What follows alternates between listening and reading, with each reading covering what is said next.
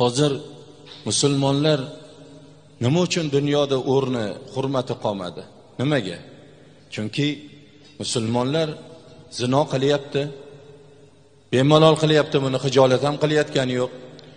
Musulmonlar birovni oilasini buzyapti musulmonlar birovga tuhmat qilyapti musulmonlar yolg'on gapiryapti musulmonlar oldi berdilarda g'ayri dinlardan o'tib ketdi. Oldi berdilarda xiyonatda. Olgan narsasini bermaslik aldam qaldam tarozida uryapti musulmonlar. Musulmonlar ayoli ochiq sochiq yuribdi.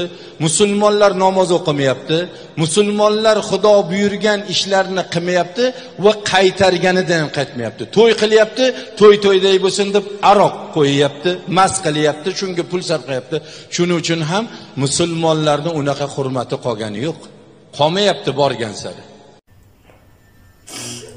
Teknos vergi olsam bayamıyorum. Hayır annem gelip gelmeyeceğini ağlayayım ben. İltimaslardan. Yardım verin Yarım yılda fark etmeyin. Musafir yurtta beylerim. Sizlerden iltimas kılıp sorayım ben. Yardım izni ayameyinler.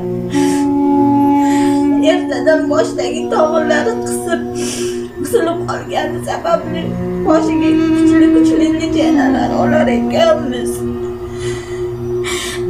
Sizlardan iltimos qilaman yordam beringlar